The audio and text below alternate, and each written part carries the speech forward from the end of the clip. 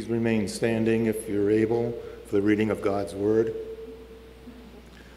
I'll be re- reading from Revelation chapter 2, verses 1 to 7. To the angel of the church in Ephesus, write the words of him who holds the seven stars in his right hand, who walks among the seven golden lampstands. I know your works, your toil, and your patient endurance, and how you cannot bear with those who are evil, but have tested those who call themselves apostles and are not, and found them to be false. I know you are enduring patiently and bearing up for my name's sake, and you have not grown weary. But I have this against you that you have abandoned the love you had at first. Remember, therefore, from where you have fallen, repent and do the works you did at first. If not, I will come to you and remove your lampstand from its place unless you repent.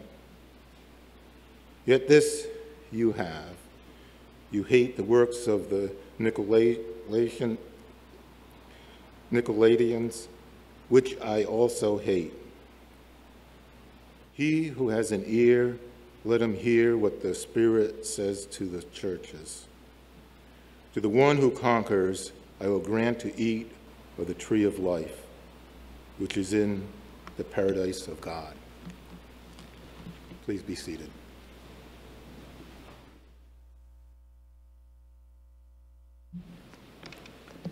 Let's pray again.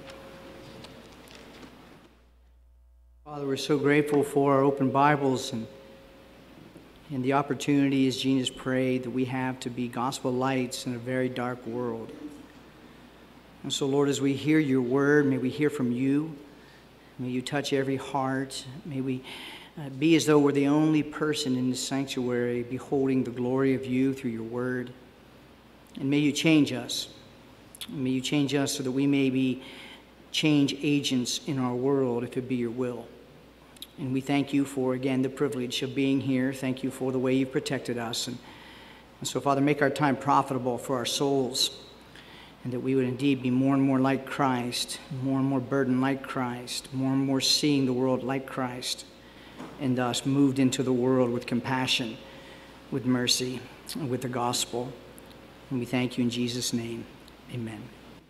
Well, it certainly is good to see all of you, and uh, it's nice to see the, uh, the increase of us getting together. And I know you value that very much, and I hope that we don't take it for granted uh, what has been removed.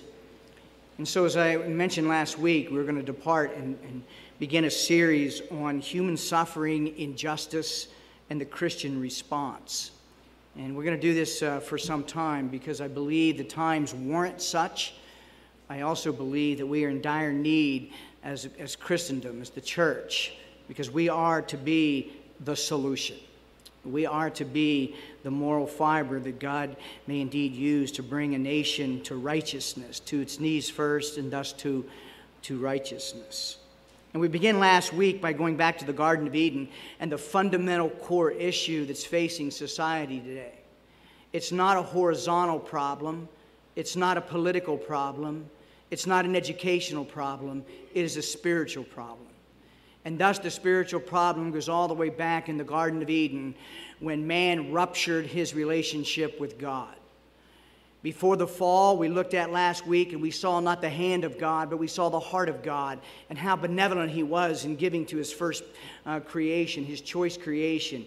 We saw the harmony. We saw that before the fall, there was no racism, there was no division, there was no injustice, there was no strife, there was no hatred, there was no conflict. And then we saw the fall, and all that ugliness took hold in the human heart. And it's lived out every day in our world. And so the Christian response what do we do? What do we do? What is our responsibility to a decaying and dying world around us? And I believe the answer is simple. I don't believe it's easy, but I believe it's simple. And I believe it is the recovery of the biblical church. I believe it is the recovery of first love in the church. It will not be us going out and doing, it will us becoming that will lead to our doing. And so, what I want to look at today and begin in the response that we are to, ha- excuse me, we are to have in our culture is to go to the church at Ephesus. And if you have your Bibles to the Revelation chapter 2, the text that Bob read, I want us to begin to look at what I believe is the fundamental problem in Christendom, the fundamental challenge I face in my own life, and the only solution to bring humanity in a reconciled state with their Creator. And that is the Church of Jesus Christ recovering what the church at Ephesus had lost, and that is first love. But before we look at this uh, problem uh, in the Ephesus church, we need to realize two things. Is number one, what we read of the Ephesus church in the Revelation was not what they were. They didn't start out like this. And the second thing that we need to be aware of when we look at the problem in the Ephesus church is that this is a warning. This is a warning for us. It's a warning for us as individual Christians. It's a warning as churches that are committed to right orthodoxy. Is that you can have right doctrine, right practice, right standing in the culture, and yet miss the main thing. And this is exactly what Christ says to the church. He says, I know your deeds, I know your works, I know your practices, I know uh, that you are confronting evil in the culture, yet you've missed the main thing, or I should say, you have lost the main thing, and that is first love. Now, when you go back to the Ephesus church, I want to give you a background here why this is important for us. And I'll stress this uh, ad nauseum to you is that I firmly am convinced the church needs to recover love for Christ again and the power of a transformed life. We will change culture if God allows us, one heart at a time, by a mobilized church that is absolutely consumed with Jesus Christ and His gospel. And the church at Ephesus, when they started out, they were a church of first love. You can read the account in Acts chapter 19. Paul spends two years uh, there, and this was the key city in Macedonia. This was the, this was the hub of all activity. One of the seven great wonders uh, uh, uh, of the world, the, the Temple Diana was there. It was, it was a mess, but it was a very influential place. And the church was planted there in Acts 19, and they were influential. Paul spent two years there, and it changed. People were going out of business because of revival that was happening in Ephesus. The silversmiths were losing business because of conversion. And it says in Acts chapter 19, verse 18 through 20, it says, Many who are now believers confessed and turned away from their wicked ways. And it continued on. It says, So the word of the Lord continued and increased mightily. That's exactly what we need in America today. Is an increase of biblical integrity in the church, the, and as Gene says, the unflinching fearlessness to say, Thus saith the Lord, with deep compassion and sacrifice. The Ephesus church in its first generation was influential. Why? First love. They've been radically changed, and first love gripped them and it mobilized them, and thus Ephesus was changed. That's the first generation. What happens in the second generation of the church? Well, they maintained. They maintained and deepened first love. In the second generation of the church at Ephesus, we get the, we get the letter to the Ephesians. And if you read the letter to the Ephesians, you're going to find that love dominates that book. 20 times in all, the word love appears in the, the, the, letter to the Ephesians. And in that context, it's always affirming. There's no, there's no mention there of a loss of. In fact, Paul would summarize the healthy climate of this church in its passionate first love by saying in Ephesians 1:15, "For this reason, because I have heard of your faith in the Lord Jesus and your love towards all the saints. And then the whole letter. The whole letter tells us what the church is to be like. And so it's a very positive first love that was, that was planted in the first generation, continued into the second generation. and it's an interesting side note, and this is very important for us, is that when saving faith in Christ is present, so is impartial sacrificial love for people. When true faith in Jesus Christ grips a person and a church, impartial love is what flows from that Christian and from that church. Well, what happened? What happened in, in Ephesus that went from first and, and second generation white hot love for Christ? We come to the third generation and the letter from the Lord Jesus. And Jesus was, as Bob read, I'm not going to read it again, but Jesus says, everything looks good. On the outside, you look great. Your activities are noble. He commends them. He commends them for their, uh, for their stand. But then the saddest thing that could ever happen to a Christian and a church, the absolute worst thing that the head of the church could ever say to one of his people or his church, you have lost your first love. You have abandoned your first love. Now, this is not a new experience with the Ephesus church. And I would argue that this is a challenge you and I face every day with all the pressure and all the busyness and all the distractions in life is that the attack of the devil is attack on your heart for first love. If he can get your heart and your affections, you're done. But then it becomes religiosity without power. It becomes influence of religion, but not of spirituality. And so that's why the warning sign is so clear from the church at Ephesus, the Lord Himself. And what I believe is the fault of our nation is not the fault of, of policies, it is the fault of the passivity of the church of Jesus Christ. It is her loss of love for the head of the church, for the triune God. And it happened in the Old Testament. A sad account in Jeremiah chapter 2. Verse 1 The word of the Lord came to me, saying, Go and proclaim in the hearing of Jerusalem. Thus says the Lord, I remember the devotion of your youth. Now, listen to the heart of God here for his people. It's just like the Genesis account. We see the heart of God towards his people. And now in Jeremiah, the Lord says, I remember your devotion. I remember the devotion of your youth. I remember your love as a bride, how you followed me in the wilderness. You see the heart cry of God? He's saying, I remember those days of intimacy. I remember those days of closeness. I remember those days when you and I walked in a oneness, even in the howling wilderness of the world. He goes on to say, But hear the word of the Lord, O house of Jacob. What wrong did your fathers find in me that, went, that they went far from me and went after, went after worthlessness? And became worthless. Beloved, see the broken heart of God when his people abandon the main thing. And the whole of the Christian life is a Christian life of love. The book was published in 1677. I've recommended it and I hope you'll read it. He begins his book by saying this quote, The life of Christianity consists very much in our love to Christ. Without love to Christ, we are as much without spiritual life as a carcass when the soul is fled from it is without natural life. Faith without love to Christ is a dead faith. And a Christian without love to Christ is a dead Christian, dead in sins and trespasses.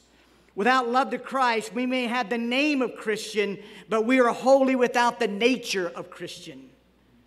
We may have a form of godliness, but we are wholly without the power. End quote. That was Thomas Vincent. His book, True Love to the Unseen Christ, as I mentioned, published in 1677. It could have been published yesterday. Vincent would reveal the remedy for what plagues humanity. And it is the healing of relationships by the controlling power of Christ's love. And thus, the marching orders are for the Christians not to get busy and go do something, but it's to recover first love, which produces the right activity. Vincent would go on and say, quote, Give me thine heart is the language of God to all the children of men. And give me thy love is the language of Christ to his disciples. What a beautiful statement. Friends, do you see the heart of God like that? Do I see the heart of God that yearns for his people not to abandon first love? Do you see the heart of God that woos us from the world to the eternal world to bask in the glory of His love for us that produces first love? As I mentioned, Christianity is a message of love. It's not the message of worldly love. The, wor- the world has hijacked uh, the word love, they don't even know what it means. It's all about infatuation. It's all about emotionalism. It's all about sentimentality. It's all about those things that has no substance. Has no substance. But Christianity is a message of love. It is the enduring virtue for eternity. Think about it for a minute. Faith will end someday. We are going to surrender faith for sight. So faith isn't eternal. Hope isn't even eternal because our hope in the unseen is going to become literal reality. But what will endure forever? Two things love and people. And those two are inseparable in the Christian life. And so I can't stand back and watch the news and bewail what's happening in my society and not be moved and not be moved by first love that causes me uh, to weep with those who weep and enter into the, into the realm of loving them as Christ loves us. But if we're going to recover first love, and I'm not going to give you a recipe to recover this, we're not going to do that. We're not going to go, I'm not going to exhort you to go and do something. I really want to bore down on this because I see in my own life a desperate need for this to happen. And I see in the, in, in, the state of our church, and it's not a judgment on any of you, but I see that we definitely need for God to revive us with first love. The church needs to be a force for change, but a force for change that comes from an otherworldliness about us that causes the real change, and that is heart transformation, not moral reformation. And so, if we're going to experience this, the recovery of first love, I, I want to I wanna caution us because, and, and keep this in the right context, the Christian life is not passive. You cannot reduce Christianity to just what God does to us. Yes, He does stuff to us, but we are called to a life of diligence, a life of discipline, a life of self denial, a life of, of other centeredness. There is, there is an, a balance in the Christian life. And that's why the prayer of Ephesians 3, which we've been praying for, and I hope you never grow tired of praying that prayer where Paul prays that we would be strengthened in our inner being. Why? So that we would know the love of Christ. I'm not praying the prayer of Ephesians 3 that God strengthen me and I can get through a tough day because my life is, is going through some difficulty. That's not the prayer. The prayer is that we would be empowered by God to know God to experience His love so that we would infiltrate the world with that message. And so, if you and I want to be agents of change, then number one, we got to confess that we're lacking first love. Secondly, we have got to commit to praying that Ephesians 3 prayer, not mechanically, but fervently, that God would send revival and show us the incredible power of His love. To be overwhelmed by the love of Christ. And the second thing that we need to make sure that we're seeking is to be controlled by his love. Now, this is a very familiar verse, and all of you probably have memorized this verse. Paul would say to the Corinthians, For the love of Christ controls me. Now, if I sit down with you immediately after the service and, and single, all of you line up, and I'm going to ask you the same question What would a life look like that's under the control of Christ's love? What, what would take me from, I know this verse, I quote it all the time. But what would make me go from quoting it to living it? What would it look like in the life of a church and a Christian that knows about the constraining, controlling power of Christ in their life, his love? That's a big question. That's a big question. But there are three certainties that if you and I know anything about the love of Christ, if we know anything what it means to be controlled by his love, three things, at least three things. And the first one is this we will see a noticeably decrease in selfishness. You simply cannot be encountering the love of Christ and changed by the love of Christ and live me, my, and mine. It's impossible. The whole purpose of Christ's coming was to destroy self love, not to promote self love. So, if we're under the control of Christ's love and we are enjoying first love, one of the key characteristics will be this noticeably lack of selfishness. The second thing that will be present in a life under the control of Christ's love is that we will be so burdened for the gospel that we will be salt and light in the culture. Can't be otherwise. It is absolutely impossible to know the love of Christ and to remain passive in the work of the gospel to a dying culture. It's, it can't happen. And there's a third thing that'll be present in a life that experiences first love and under the control of Christ's love. Is that we will have deep spiritual relationships with other Christians. We won't be on the fringe of body life. You can't. You can't. And those are three things that will always be present when God is granting us revival of first love. And so, when you think about the very answer to the culture today, it truly is. It truly is a revived church. A church that understands why it's on the earth, and a church that has so encountered the love of Christ that is transformational and it produces within them an utter hatred for selfishness, a burden for the gospel, and then to be that agent of change in deep spiritual relationships with other Christians. So that's by way of introduction. So you can see we're going to spend some time on this. And I want us to date, I want us to begin to, as I mentioned, bore down on this.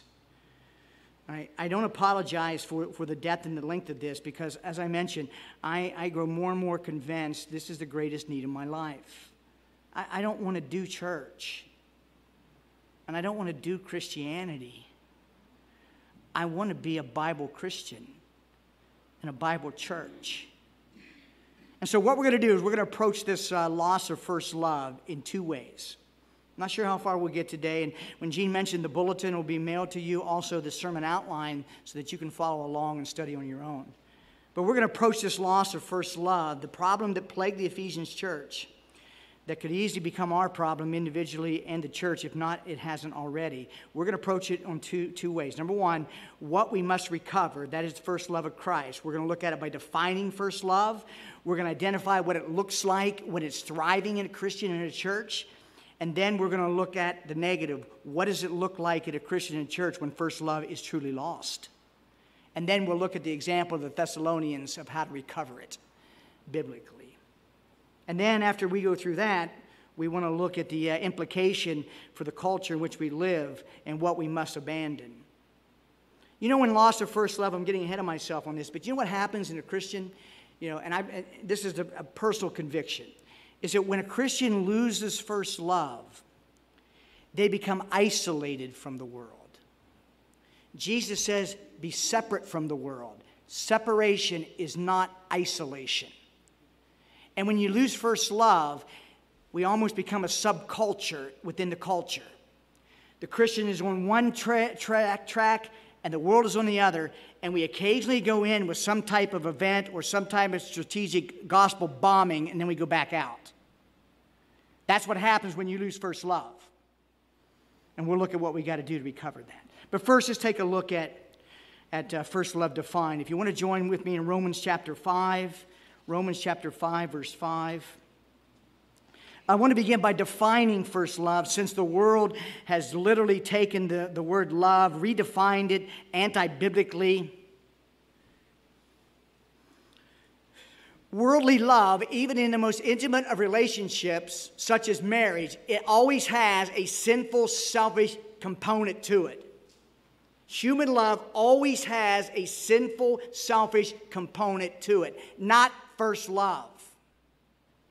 And when you look at first love, it's defined. Jesus would tell us the seriousness of this, of this experience and this truth being lost. Some of the translations, when he says, You have left your first love, I think the ESV says that. Some of the other translations add force to it. This is what it says. When Jesus says, You've left your first love, here's some other translation You have given up, you have forsaken, Your love isn't what it was at first. You do not love me as you did at first. You no longer love me as you did in the beginning. Your first love, you have let it go. That's the heart of Christ over a Christian church that has allowed that to happen.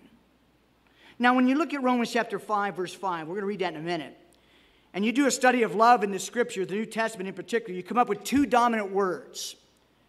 Again, Bible scholars, you know this, but there's two dominant words in the New Testament for love. The first one is phileo, phileo, and that means a brotherly love or a brotherly affection.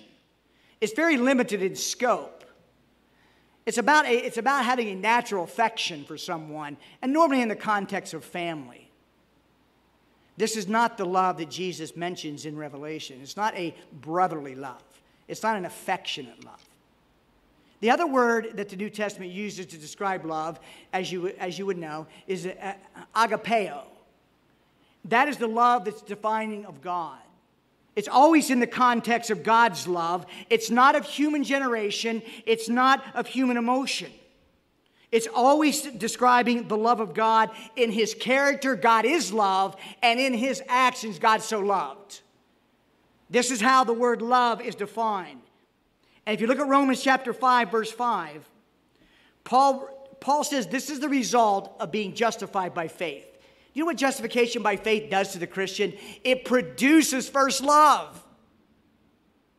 He says, and hope does not put us to shame because God's agapeo has been poured into our hearts through the Holy Spirit who has been given to us. Friends, left to ourselves, we are incapable of loving God and we are incapable of sustaining love for people.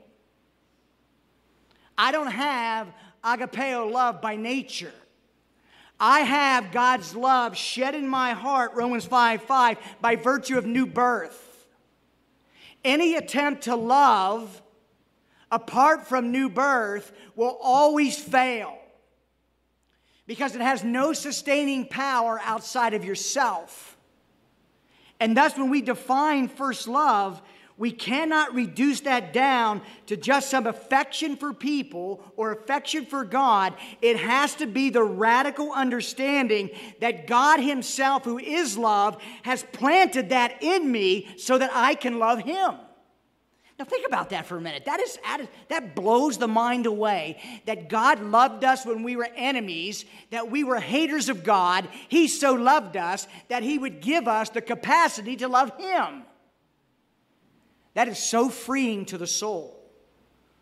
Because when I'm commanded to love my brothers and sisters, and I don't look at the fact that God has enabled me my new birth to do that, I am going to fail miserably.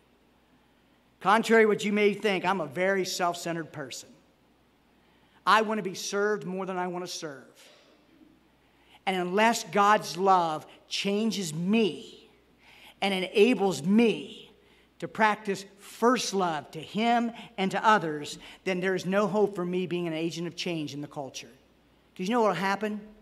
Is you'll grow weary in serving others and you'll get, you'll get grumpy, maybe even bitter because you're being underappreciated or taken for granted or no one recognizes you. No, that's, that's earthly. When you say, well, no one's noticing, or I'm tired, I need a break, that's earthly. Agapeo is power, it's love that enables us to live above those things. And so when we define first love, we need to understand that first love is first love that comes from Him who first loved.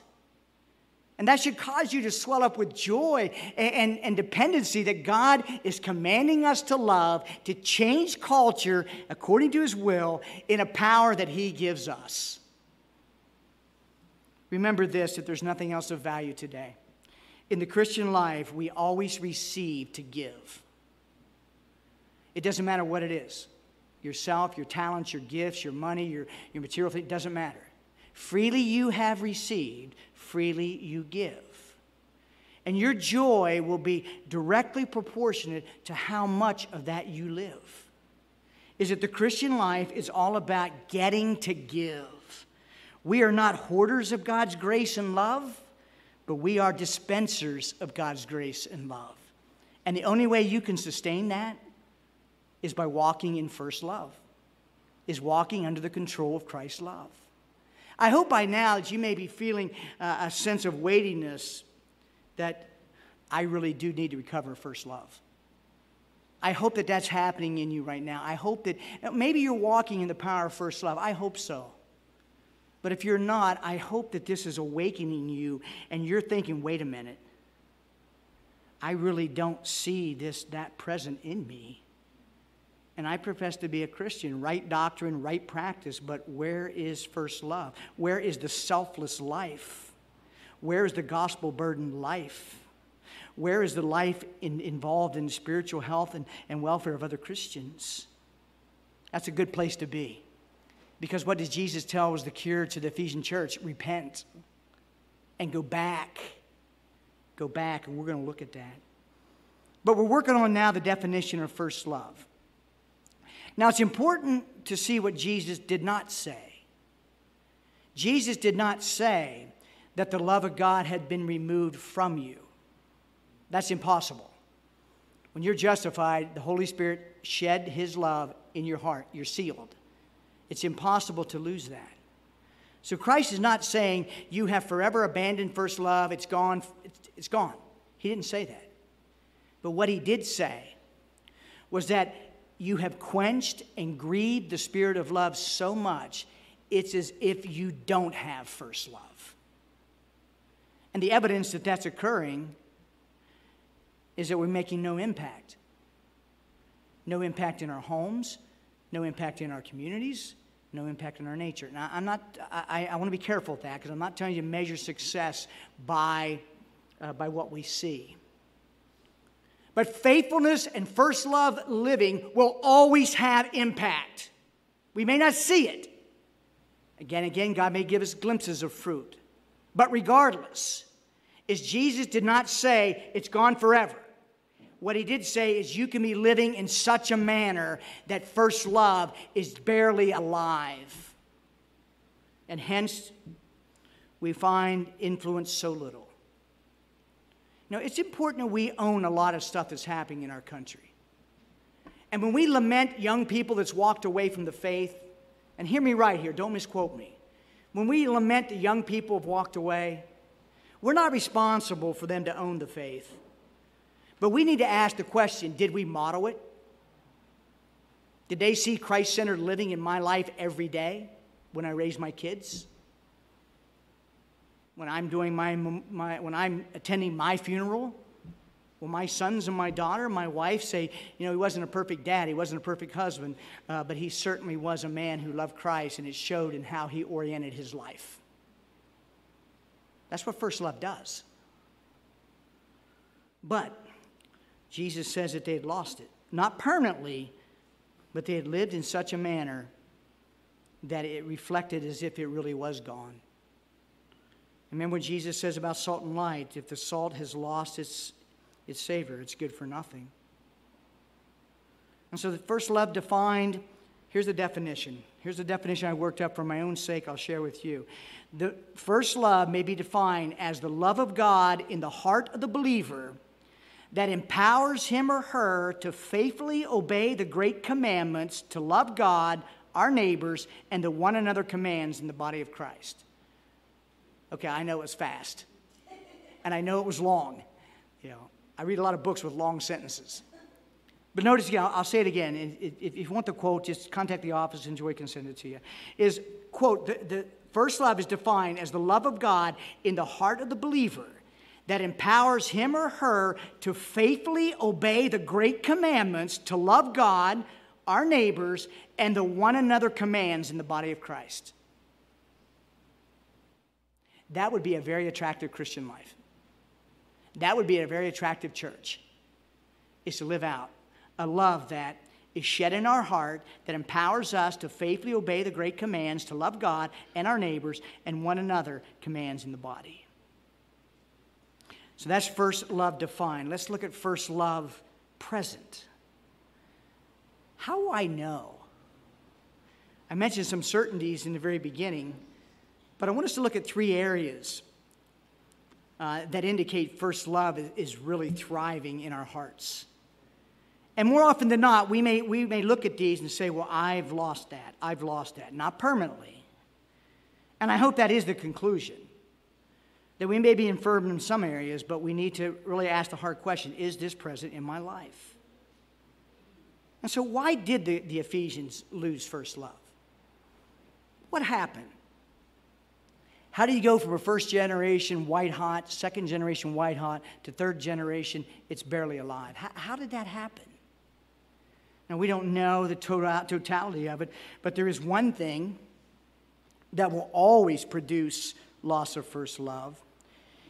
And it's when you lose the awe and the wonder and the amazement that you're a Christian. First love will begin to wane and begin to cool when you lose the wonder and amazement of new life in Christ. Remember when you first became a Christian? Remember the newness? Remember when the, the, the, the blinders were taken off and every, everything took on a freshness about it? You saw for the first time in your life truth. You were liberated from yourself, and first love burned in your hearts with great zeal. There was a, uh, and, and some of you, I mean, doesn't mean your conversion had to be dra- drastic. Lydia's wasn't. But anytime new birth occurs, there is the freshness, the newness that's associated with being a, a, new creature in Christ. Do you remember the spiritual honeymoon phase you were in when you came to Christ? Do you remember almost the giddiness that He was your everything? I remember I first became a Christian, and, and, and don't use other people's experiences as models, but I'll just share mine. I remember I come home from a cruise. I left, I left for deployment not a Christian, and I came back as a Christian, and I went home and I had a ton of zeal and absolutely zero knowledge. I was a dangerous person. And my mom took me aside and she said, What happened to you? Did you join a cult? She said, All you want to do is read that Bible. You remember those days?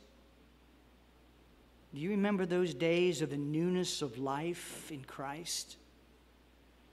Do you remember how God implanted within you new desires. The old passed away, behold, the new has come. We once loved sin, we once uh, catered to the passions of our flesh, we loved the world. Do you remember those times when holiness gripped your heart? You wanted to be like Jesus? You remember those times when it was a pure delight to just know Him?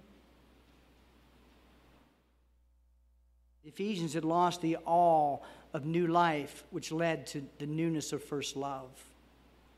The honeymoon phase in the Christian life, guess what? It's not supposed to end. And I'm not talking you're always going to be, uh, you know, flying around all excited. But first love is not to end. It is to intensify. It is to mature. It is to become characteristic of the Christian life. So, the first thing we see then in the presence of, of first love, it is the newness of life that we once had reignited again. The new desires for the other world, the new desires for holiness, the new desires for the things of God begin to grip you with fervency, and that when you have to make a decision, the world or the word, the world never even gets a hold of you. I don't want that. That's my old person. What? Are you kidding me? I have a new delight and is found here. But also in the newness that they had lost of, of new life in Christ, and thus the loss of first love, there was also the loss of new direction for life. You know what first love? It gives you a new compass in which to live your life. If I was to ask you right now to write down three purposes uh, that you are right now living your life, what would you tell me? Raise my kids right, that's a good one. Be a good wife, good husband, that's a good one. Serve my neighbor, that's a good one. But you know what your number one direction in life is? It's Paul's Philippians 1:21, to live as Christ. To live as Christ. Get that one, all the other ones come together. But you start with all the other ones, then Christ becomes secondary. Christ takes a third, maybe even a third seat in your life.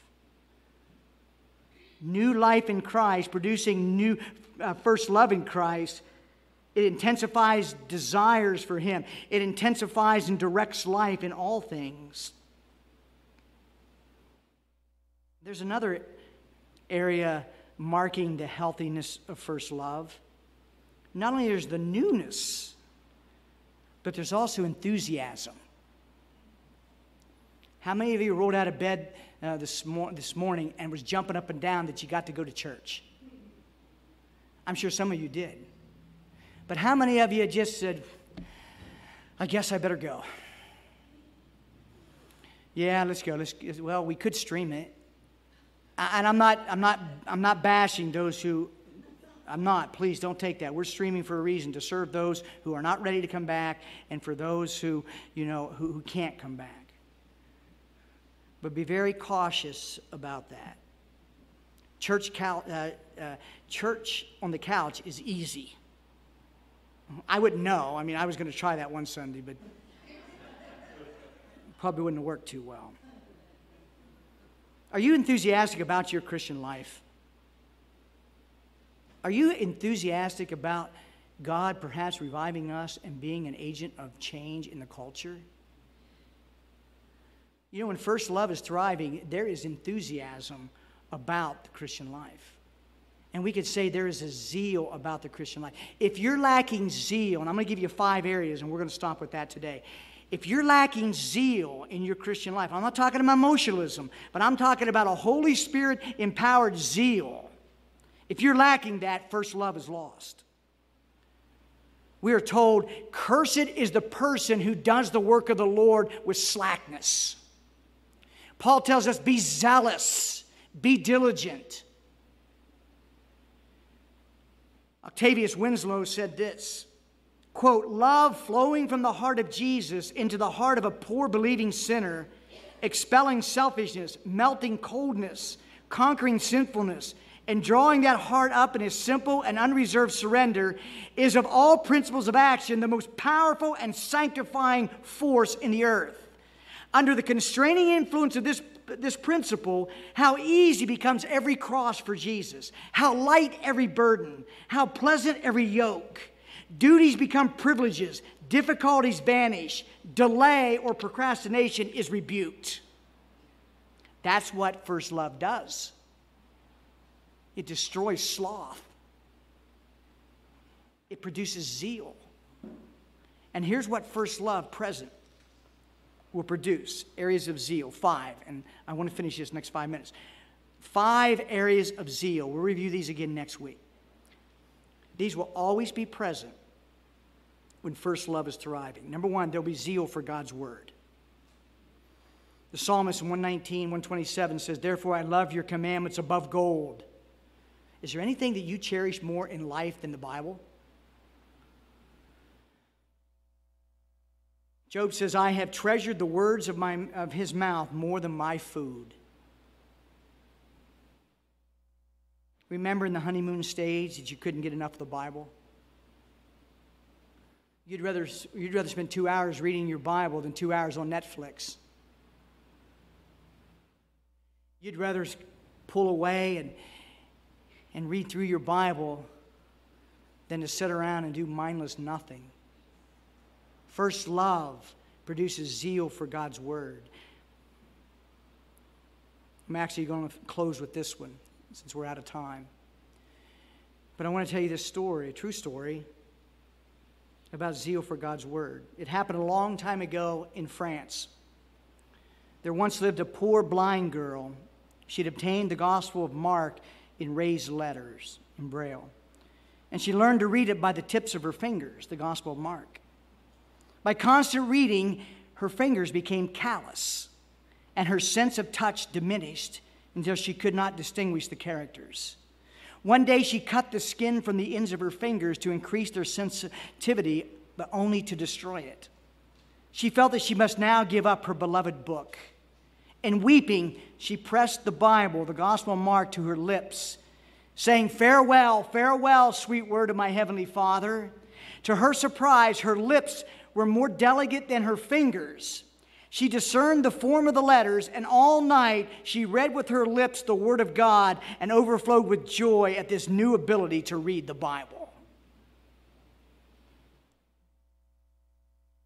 Would you like to stand with her in your desire for the Bible? Would I? The only hope for our world is the recovery of first love that mobilizes the church to put forth the sweet fragrance of Jesus Christ and the gospel that changes hearts one at a time. And that vehicle is a revived church, the church that has recovered first love. It's a first love that understands God empowers us to love. It's a first love that provides new desires in life. It's a first love that provides new direction in life for me to live as Christ, period. And it produces areas of zeal. And first, there's the zeal for God's Word.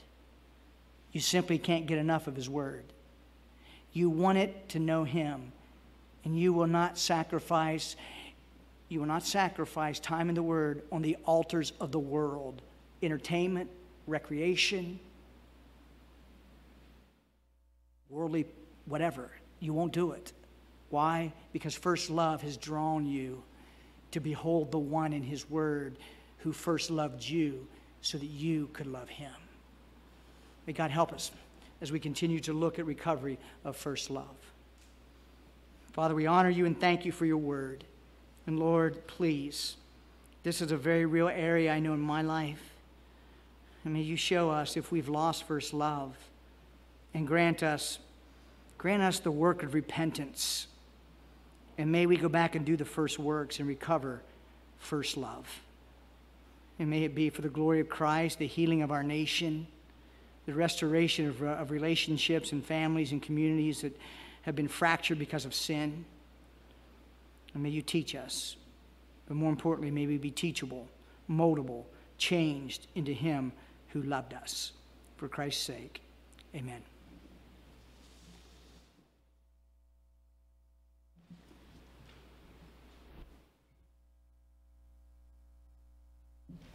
If you are able to, please stand with us for the benediction and then continue standing uh, as we sing the doxology thereafter. The benediction comes from Jude 24 and 25. Now to him who is able to keep you from stumbling and to, present, and to present you blameless before the presence of his glory with great joy, to the only God, our Savior, through Jesus Christ our Lord, be glory, majesty, dominion, and authority before all time, and now and forever. Amen.